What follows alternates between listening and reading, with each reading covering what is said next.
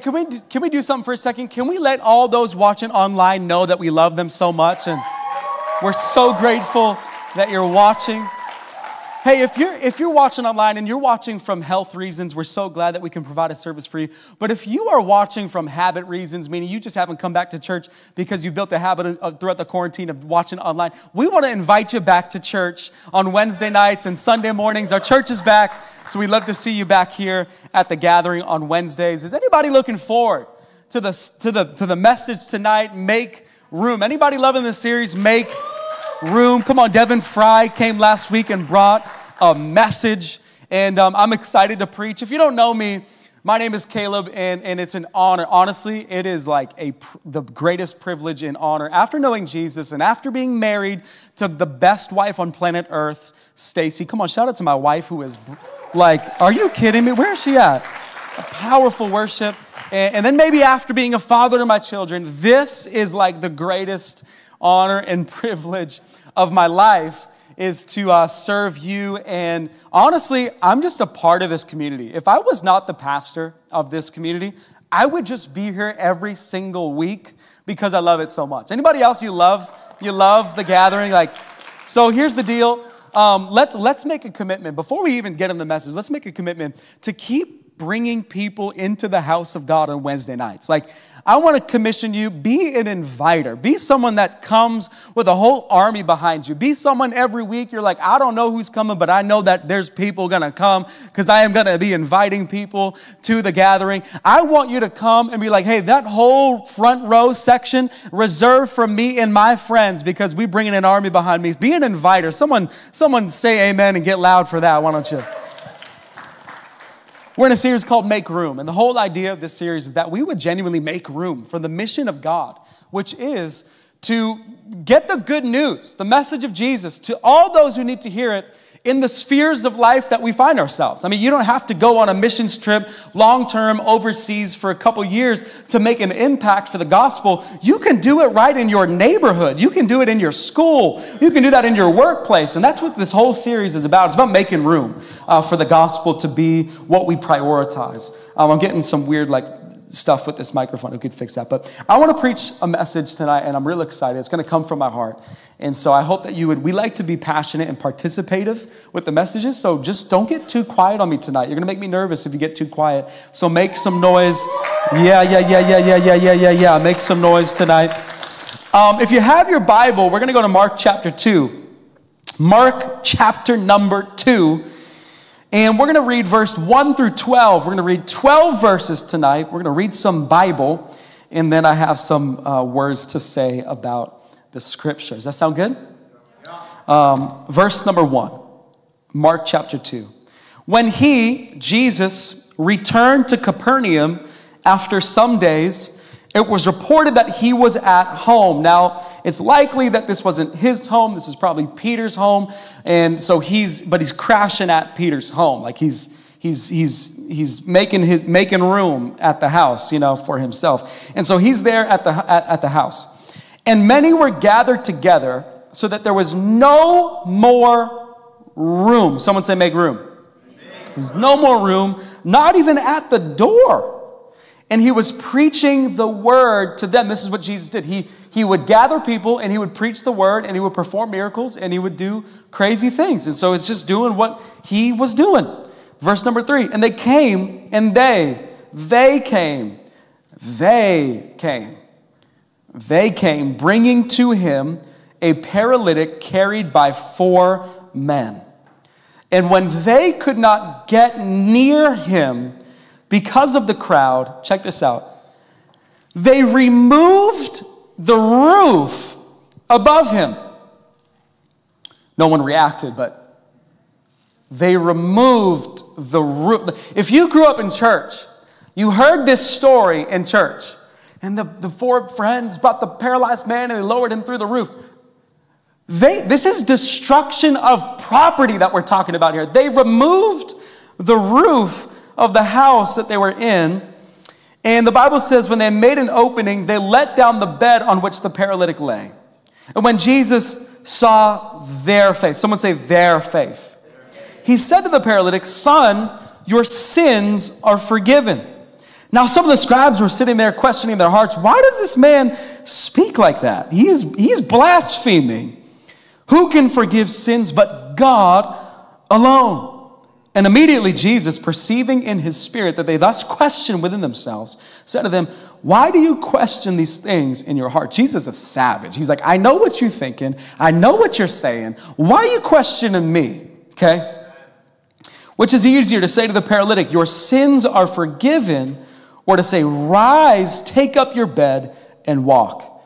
But that you may know that the Son of Man has authority on earth to forgive sins he said to the paralytic, I say to you, rise, pick up your bed, and go home. And he rose and immediately picked up his bed and went out before them all, so that they were all amazed and glorified God, saying, We never saw anything quite like this. We've never seen anything like this. What, a, what an awesome text that we have tonight. Let's pray, and then we're going to take the next uh, three hours to preach. All right, let's pray. Lord, we love you so much, and we just thank you in this moment that God, you still work miracles. You still work miracles. Like if there was a paralyzed person here, you could raise them up from their bed, you could heal them. But God, the greatest miracle of all is the fact that you look at humanity in our sins and in the stains of our sin and the brokenness of our sin, and you say, I forgive you. That's the greatest miracle of all. And so help us, Lord, to unpack this and see this. In the name of Jesus, we pray. Amen. Come on, why don't you give Jesus a rowdy shout of praise? No, give him a shout. Come on, I love that Jeff said take 20 seconds, give him a shout of praise in this room. My first sermon ever, my first sermon ever um, I slightly remember my first message that I ever gave. I usually tell the story that my first message ever was when I was 16 years old and I stood before a men's breakfast because that's where you try out all the young preachers. You, you throw them at the men's breakfast. And so I, I preached my first message at the men's breakfast. But really, my first message, my first sermon ever was actually way before when I was 16. I was five years old when I preached my first message. Now, it's told to me, this story is told to me, and I slightly remember this, but five years old, and, and, and, this is the first message I ever preached. I did not have a microphone in my hand. I did not have a platform on which I was standing. Um, there, there really was only two people in the audience that I had, but I still preached my first sermon at five years old. And the sermon was very simple. I had one of my friends over my parents' basement, and we were hanging out in my parents' basement. Now, what you need to know about the basement is that half of it was our playroom. This is on Oak Street in Halifax, Massachusetts. Half of it was our playroom, and the other half of it was my dad's administrative assistant assistant's office because he was running a contracting business, a painting and renovation business. So someone would work in there, and half of the other space was for our play. And so I had a friend over named Nate, and we were playing in the playroom. And, and I, I did not know that there was someone, my dad's assistant was in the office overhearing um, what we were saying. And so, so I, am with our friend, we're playing with toys and stuff, and, and I randomly asked my friend, my first, my first sermon ever, ever preached. I said to my friend, it was a question. Do you believe in Jesus? To which my friend replied, Yes, I do. And I said, Good, because if you didn't, you'd go to hell. That was my first, come on, give it up for my first message I ever preached. Five years old. And I tell that story, and um, along the, the way, I, I learned maybe some, some delivery tips and maybe some tactful ways to communicate the message of the gospel just a little bit better than when I was five years old. But my question for myself, and this week I was genuinely asking myself, was my message more clear at five years old than it is at 25 years old?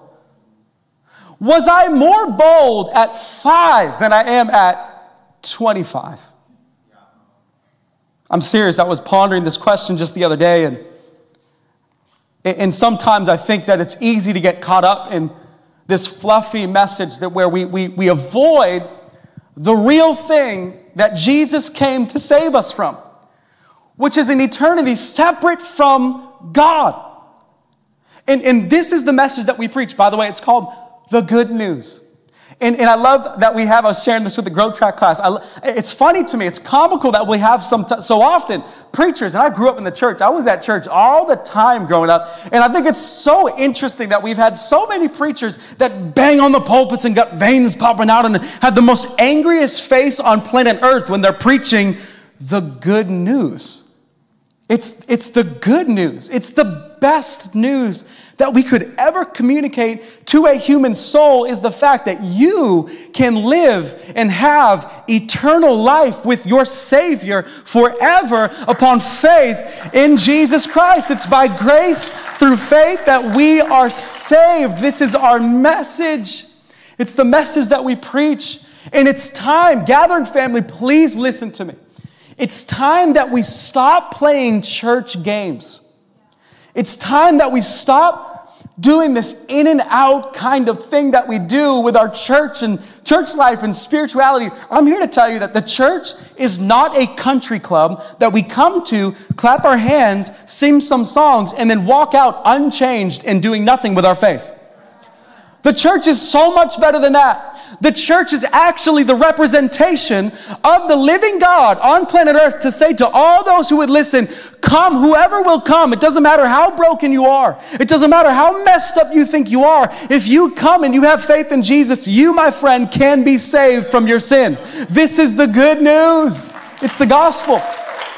And our mission, and our mission is that we would take this news to all those in our, in our in the spheres of influence that God has given you, that you would take this message to, to your friends, to your coworkers, to those you have relationships with, that people around us would see, not just hear, but see Jesus in us and experience the message that He was crucified for our sin and that he rose again from the dead. I am done playing church games. Is anybody else sick and tired of just doing church? We are the church. What does this have to do with this story? Well, the first thought I have tonight, if you want to, by the way, my title tonight is, is Five Year Old Faith. Five Year Old Faith.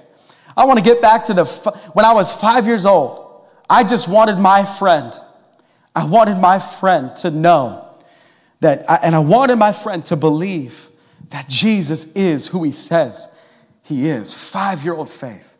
See, sometimes I think, I think we all think we need more intellectual and apologetical arguments for faith. We need, we need to study, we need to make sure we have all the right points of theology to argue those who reject the faith, that we would get it, all of our theological and doctrinal ducks in a row, all of our apologetics, everything that we need to know to, to convince and win the argument that, that someone would bow their knee to Jesus. And all those things are important. But I'm here to tell you maybe we just need more five year old faith to reach our friends for the gospel. Maybe it doesn't require a theological seminary degree to win your friend to Jesus. Maybe it doesn't require a microphone and a platform to win your friend to Jesus. Maybe it just requires a boldness and authenticity and some childlike faith to say, Will do you believe in Jesus? Because if you do, it's not that you just will not go to hell, but it's that you will receive eternal life and have a brand new life here on earth in Jesus Christ. Come on, church, we have the good, the good news. If you want to win your friends to Jesus, like this, the four friends, the four men that were carrying, carrying the paralyzed man to Jesus. I, I, am looking out and I, and I love the faces that I'm seeing because I know I'm like, man, these people, they want to win their friends to Jesus. They want to be like the paralyzed, the, they want to be like the, the, the men who were carrying the paralyzed man. And they want to do whatever it takes to bring their friends to the person and presence of Jesus. And if that's you, I want to speak to all of those who would say, Yes, that's me. I want that. I want to speak to you tonight. I want to help you come alongside you as you Ex- tell, share your faith with your friends. And my first thought is this is why don't you start there? Why don't you start with your friends? Start with your friends. I love the text in Mark 2 3. It says, And they came, bringing to him a paralytic carried by four men. So these four guys are like, all right, we hear about Jesus. We hear about his miracles. We hear that he does uh, incredible, miraculous things. Like he, he's, he's opening blind eyes. He's casting out demons. He's, he's, he's people that couldn't walk are walking. So they're like, friend, we are going to do everything in our power to bring you to Jesus. These four guys started with their friend. They're like, we're going to do what it takes to bring our friend to Jesus.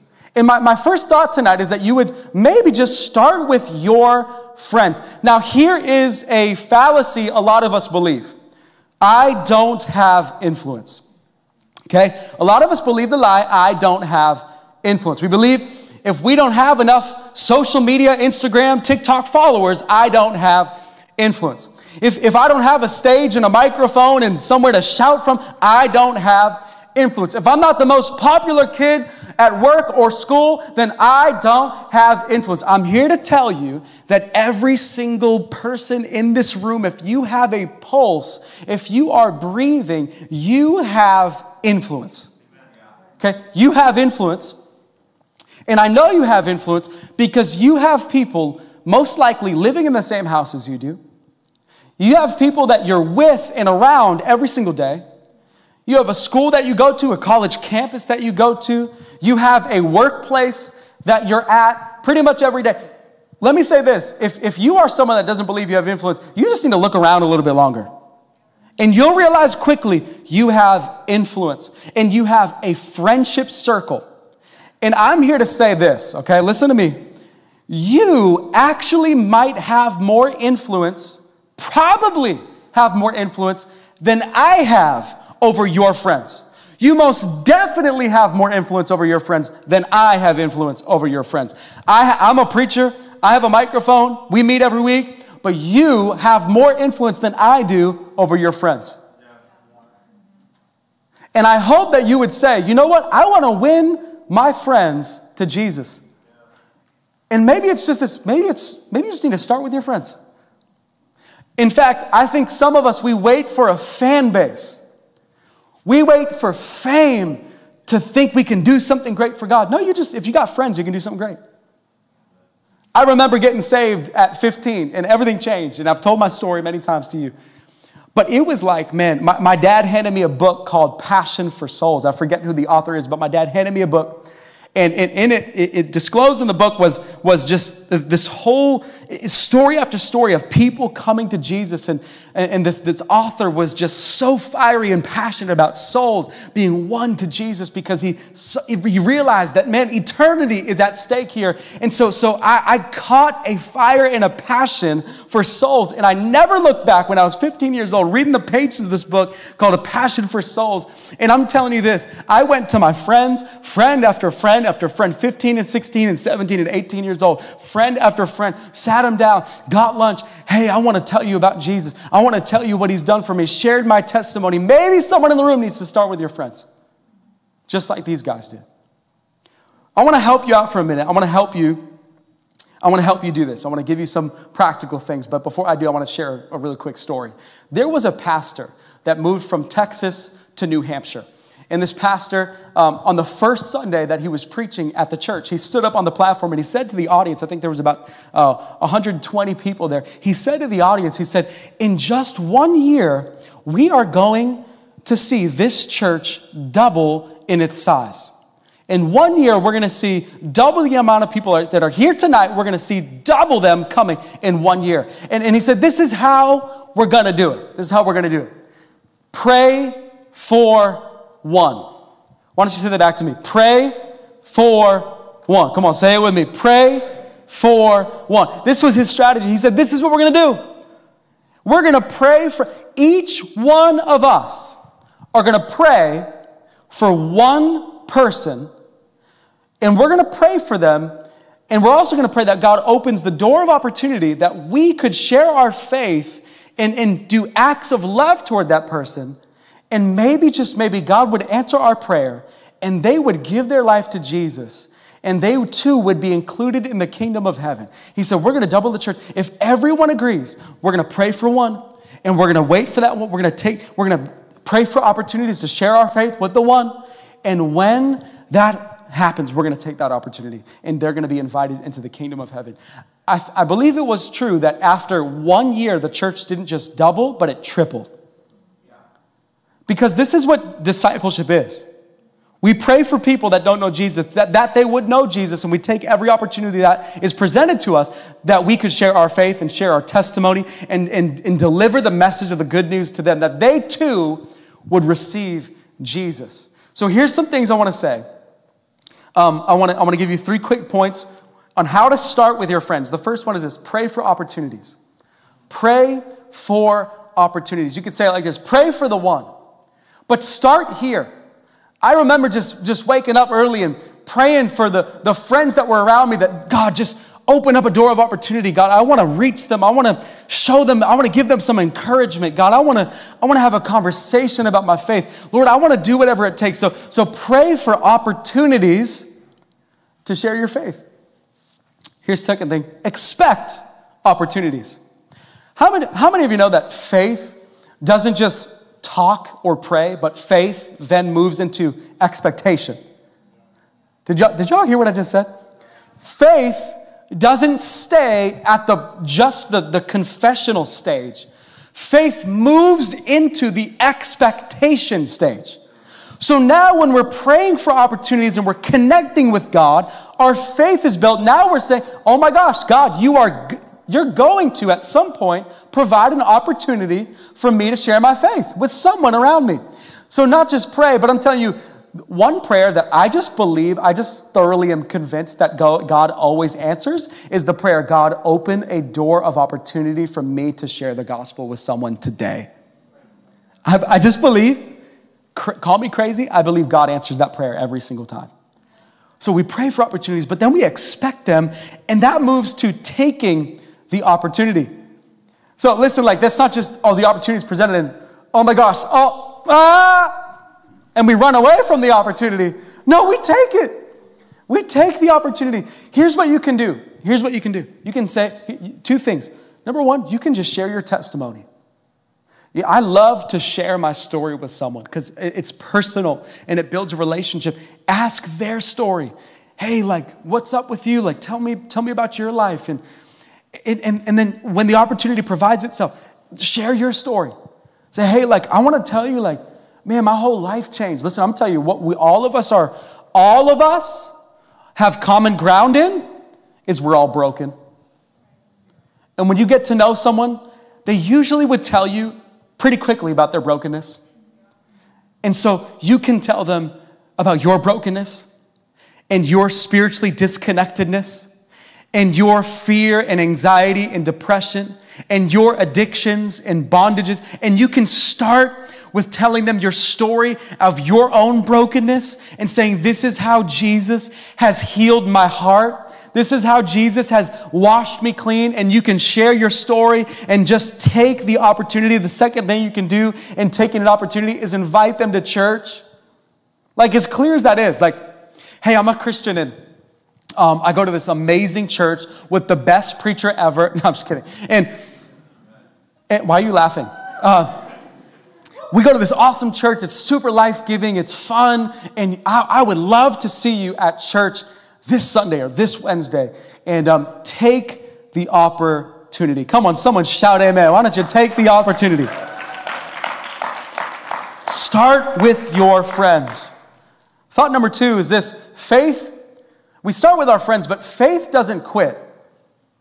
And, and let me let me let the text speak for a minute. Mark chapter 2, verse 4 through 5, it says, And when they could not get near him because of the crowd, First of all, can I just say what I love about Jesus is that wherever Jesus is, there's a crowd. People are coming to him, people are rushing around him, people want to hear about him. Why is it that the church today doesn't really always look like that? My prayer is that at the gathering on Wednesdays and at New Hope on Sundays, that people would practically kick open the door to get in the house of God because they can't wait to hear about Jesus Christ, the Lord of Lords and the King of Kings, and the one who can change absolutely everything. May the church be packed because wherever Jesus was, the people were always crowding around him. I love that in this text. They couldn't even, they couldn't even get in the house because there was no more room and the crowd was so big. So this is what they had to do. they removed the roof above him. And then when they made an opening, they let down the bed on which the paralytic lay. This is absolutely crazy. This is resilience at its finest. This is like dynamic and creative, and the fact that they had the audacity to climb to the roof and, and pull off layers of the roof. Does anybody see like me? Like this is a little bit crazy. But but here's the crazy thing is, is not one person, and especially not Jesus, makes, uh, makes a comment about the roof being destroyed.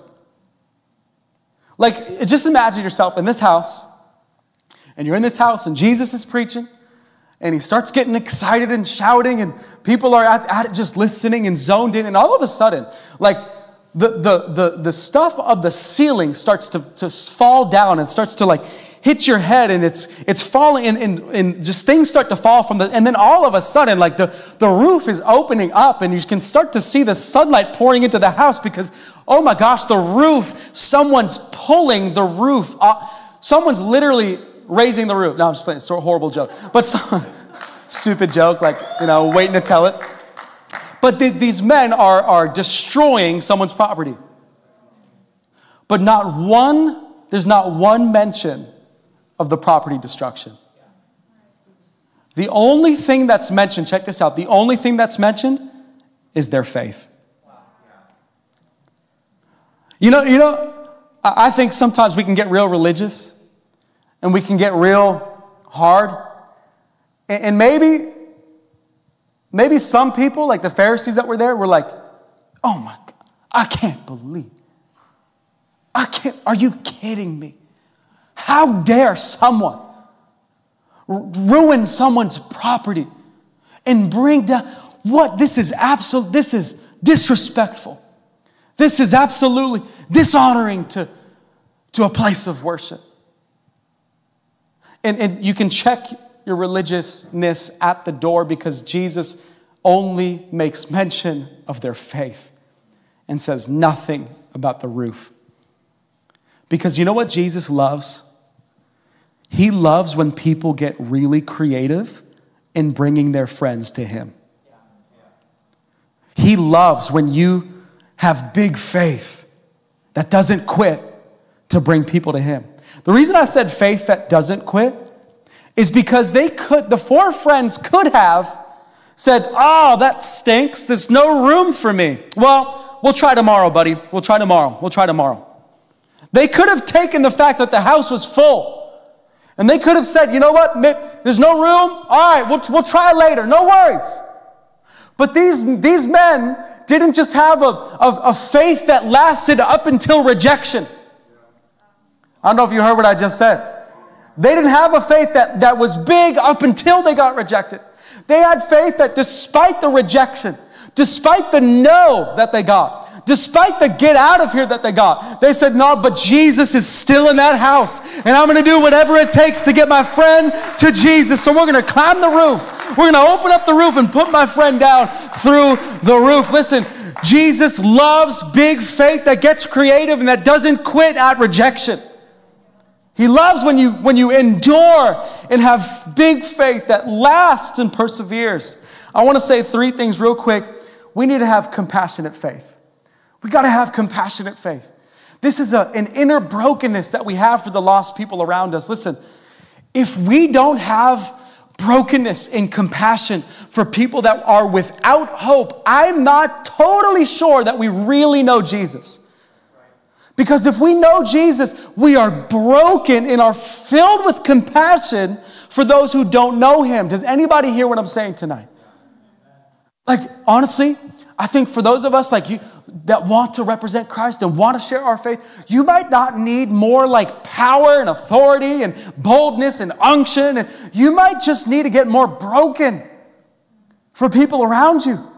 I get the question all the time what am I called to do? Like, I don't know what I'm called to do, Pastor Caleb. I don't know. And I'm like, listen, it's, it, you don't need to just ask what you're called to do. You need to ask, what are you broken for? And my prayer is that all of us would get to the place of compassion and brokenness for the lost people all around us. the Bible tells a story of Jesus looking at the crowds, and the Bible said he was, he was filled with compassion because the people were led, like they were like sheep without a shepherd. They had no one to lead them spiritually. Are, are we compa- do we have faith that is driven by compassion? I believe these four friends, they were like, we're gonna do whatever it takes to get our friend because he's paralyzed and he can't walk. And, and we know a man, we know a person that can change his condition. And so we're going to do everything in our power that this man would be transformed because of Jesus' power. It was led by compassion, which leads us to creativity, a creative faith. These people got creative. They, they were a little bit scrappy. You know, I love that. I love the fact that they were scrappy, they were dynamic, they were creative with their faith. They climbed a roof and opened the roof so that they could get their. They just interrupted the church service. Don't you love when church service get interrupted and makes everybody feel uncomfortable? This is interruption in church at its finest, right here, ladies and gentlemen. And they got real creative real quick. They didn't take no for an answer. I remember like being like 17 years old, a senior in high school, and I was like, man, I was so zealous. I was trying to win everybody to Jesus. I would talk to anybody at any time. And, and I remember just having conversation after conversation in the, in the lunchroom and in classroom. And, but I remember one time I was like, I want to I wanna do something that's a bit more creative. So I took a piece of paper, just eight and a half by, by what is it, eight and a half by 11. And, and, and, and, I, and on the, the face of it, it said, it said, take what you need. Okay, it was a piece of paper like this. It said, take what you need. And, and I cut little slivers on the bottom of the paper and wrote uh, a, a, different thing on each one of those slivers. You know those things like you can take, like, take if you need landscaping. It's like you can take the number. Anybody know what I'm talking about? This old school. We're going way back here. And on those, the, the pieces of paper, I wrote joy, peace, um, love, friendship, uh, hope, um, and I, and I wrote different things on the piece of paper. And on the back of it, it said, Jesus is the answer. I remember going back, I posted it right on the bathroom so a lot of people could see it, right near the bathroom so a lot of people could see it. And, and I remember going back uh, like toward the end of the day and every single one of those things, like I think there was two left that were still on the paper and people were hearing about Jesus being the answer. Hey, if you're in fear, Jesus is the answer. Hey, if you're hopeless, Jesus is the answer. If you are anxious, Jesus is the answer. If you need peace, Jesus is the Prince of Peace. If you need, and I was trying to get creative. Listen, some of y'all need to get creative. You need to do some creative things. Listen, you have an audience. Listen, some of y'all are so dang creative on TikTok. Some of you are crazy talented on Instagram. Like you've got the right aesthetic and the right vibe, and your page looks so cute. And I'm like, man, you could do so much for the kingdom of heaven. It with just a little bit of creativity. If you would let people know about the gospel and stop being so ashamed and get Jesus. Come on, creative faith. It's creative faith. Lastly, is conquering faith. Someone shout conquering. And, and, what I want to say about this is a lot of times I think we have faith up until we're rejected, up until someone says, You're weird, up until someone says, Hey, get out of my face with that Jesus stuff. We have faith all the way up until someone ridicules us and refutes us and, and has something contrary to say about Christ. But here's the deal I want to say this you need to have conquering faith. Faith that surpasses the no's that you get. Faith that moves past the, the, the, the, the, you're a Jesus freak, you're weird, get out my face. Faith that goes beyond that. I had five close friends when I was you know, going through my stuff in life, five, five friends, five friends that we would smoke weed together, we would fight people together, we would just, with five friends, we would get in trouble together, five friends that I thought, well, these are my homies, these are my ride or dies, five friends, these, these are my guys, like forever, like these are my guys. And, and, and it was crazy because all five of them, all five of them, I wish this wasn't true, but all five of them when I was converted to Jesus and I, and I went to them and I shared my testimony with each of them, I told them what Jesus has done for me, each one of them, five of them, every single one of them rejected me. One of them looked me in the eyes and said, I don't like this Caleb. I want the old one back. I was rejected after rejected after rejected, but I thank God that I, my faith wasn't just all the way up until I was rejected, but my faith conquered rejection.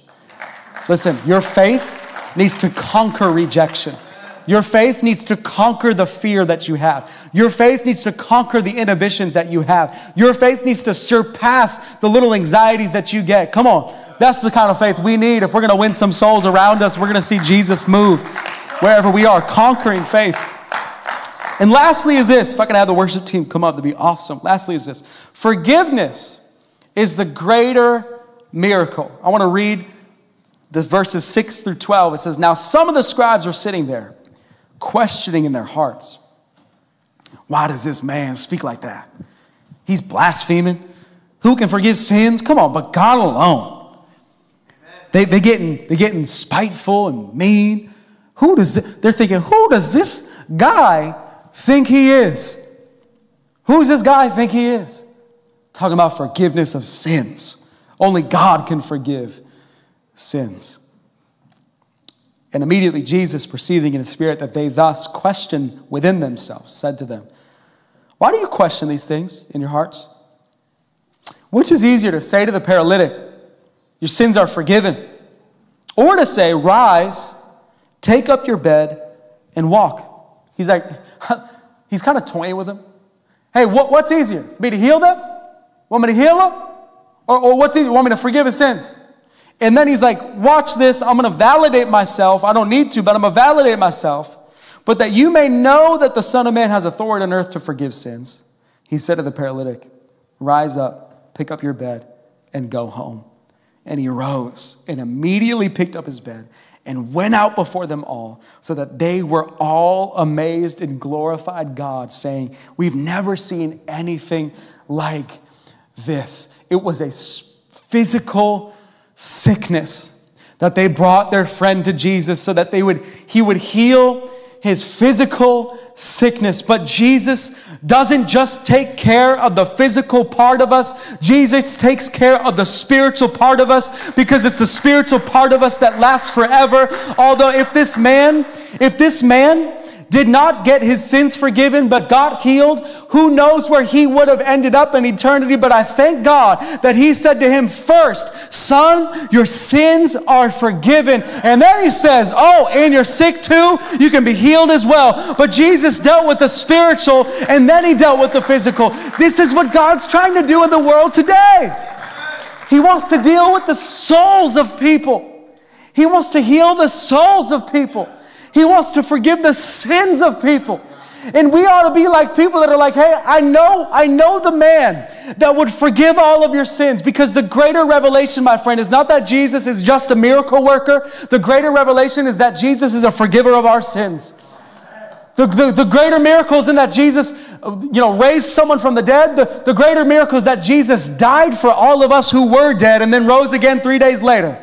That's the greatest miracle of all because Jesus is the forgiver of our sins. He came to forgive us. He came to take on the sins of the world. And He came to die for us and rise again that we too can rise again forgiven and clean and whole with a brand new life that He wants to offer to us. It's the greatest miracle. Jesus is the healer and he's the savior. Jesus is the miracle worker and he's the Messiah. Jesus is the one that can fix the physical sickness, but Jesus is the one that fixes the spiritual sickness. It wasn't just that this man was physically paralyzed, it was that this man was spiritually paralyzed. And my question to you is how many people around you are spiritually paralyzed? How many people around you in the world that you're living in, how many of them are so far from God, disconnected spiritually, that don't have the knowledge of the Savior? And this is why we take our friends to Jesus. My question is this who is on your mat? These four guys had a friend on their mat. And this mat didn't get welcome through the door, so this mat went up to the roof. This mat was lowered to Jesus. Who's on your mat? Who is on your mat? Who are you taking to the presence of Jesus? Who are you praying for consistently every day? Who are you praying for? Who are you taking to the throne room of grace? Who are you praying that God would open up opportunities? Who are you praying for that you would share your faith with, that they too could receive eternal life and be welcomed into the kingdom of heaven that lasts forever? Who is on your mat? That's my prayer. That's my question. Jesus revealed to the audience that he was indeed the Messiah. He was the one the world was waiting for. The world was, the Jewish world in particular, was waiting for the Messiah to come. He was prophesied over and over again. He would come and he would make all things new. And if you know anything about Jewish tradition and history, is that is, is, is in, in biblical history, is that the Messiah would come and restore all things. He would make everything right. All injustice would be gone. All sadness would be gone. They were looking for the Messiah, that, but, they, but they missed Jesus, who is the Messiah. Because what happens first, before the restoration of all things, when Jesus returns is that Jesus is remaking every single one of us, and He starts with our hearts. And He said, Son, daughter, you are forgiven. You're forgiven. You're forgiven. This is the good news. This is the good news. And the reality is this if you want to receive the forgiveness of sins, the Bible is so clear. It says to simply repent of your sins, confess that you're a sinner, believe in the Lord Jesus. And the Bible says that you will be saved. Believe, repent, that's it. Say, God, I'm done with my sins. I want to follow you forever. I believe that you are Lord and Savior. You are the Messiah. I believe in you. That's what the Bible says. If you're in this room tonight, if we could bow our heads in this moment, if you're in this room tonight and you're saying, I want Jesus Christ, I want to be forgiven of my sins and I want to know for sure that I'm forgiven of my sins. If that's you, why don't you put your hand up in this moment? Just put your hand up if there's anyone in this room. I want to know that my sins are forgiven. hands going up. Beautiful. You can put your hands down. Let's pray this all together. No one praying by themselves. Why don't you say, Jesus, thank you for forgiving my sin. I recognize that I'm a sinner. I repent of all of it, all the darkness. Shine your light on it. I believe that you are the Savior, and I put my trust in you. In Jesus' name. Let me pray for you. Father, I thank you so much for the people in this room that their sins have been washed away completely by the God that loves them eternally and unconditionally. I thank you, Lord, that you're working in this place week after week. You're working. And I thank you for the forgiveness of sins in Jesus' name. In our closing, before we have a time of worship and sing a song, I want to read this to you. Why don't you stand to your feet, though?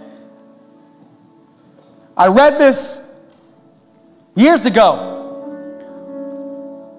and it challenged me to the core. And I want to read it out loud to you tonight because I believe it's somewhat of a commission and somewhat of a challenge and brings me back to when I was five years old, preaching my first sermon ever. Do you believe in Jesus? Good, because if you didn't, you'd go to hell. You know, you want to know what I left out? I left out that day when I was five years old. The sermon was incomplete. What I wish I said, yeah, you won't just not go to hell. You'll receive heaven. You'll get the forgiveness of your sins. You'll get to know Jesus and walk with Him for the rest of your existence. You will be blessed beyond measure. You will have a life full of purpose. You will have a life that you never even thought you could live according to Jesus. If you are in Him, you will have more than you could ever imagine. I left that out. I left the heaven part out when I was five. But here's Charles Spurgeon, a preacher in London in the early 1900s, and he says this Oh, my brothers and sisters in Christ, if sinners will be damned, at least let them leap to hell over our bodies. And if they will perish, let them perish with our arms about their knees, imploring them to stay and not madly to destroy themselves. If hell must be filled, at least let it be filled in the teeth of our exertions, and let no, not one go there unwarned and unprayed for. Church, it's time to pray for souls. It's time to pray for souls. It's time to pray for souls. It's time to pray for souls. It's time to believe that God would open up the door of opportunity, that we would step in to that opportunity and take it every single time to say, Let me tell you about my person, the person that changed everything. His name is Jesus. His name is Jesus. I want to make it hard for people to go to hell. I want to make it nearly impossible for people that see me and have a conversation with me to go to hell. I want to make it so dang hard. But not just because of the words I say, but because of the life that I live. Let me pray for you, and then we're about to sing. Father God, every person under the sound of my voice, I pray that you would raise us up, God, as evangelists. That God, we would be unashamed of the gospel, for it is the power of God to save every single sinner that believes. Help us, God, not to be afraid. Help us, God, not to have inhibitions. Help us, God, not to be apathetic. God, help us not to sit on the sidelines anymore. God, help us to get on the harvest field and be someone that's used of God. God, help this whole auditorium to be filled with broken people, with sinning people, with people that are far from you, that they would be connected to you upon the gospel that they receive. Father, may this be the case in our day and our time. Revival in Jesus' mighty name. Come on, someone shout revival. Someone shout revival in Jesus' name. Come on, worship team.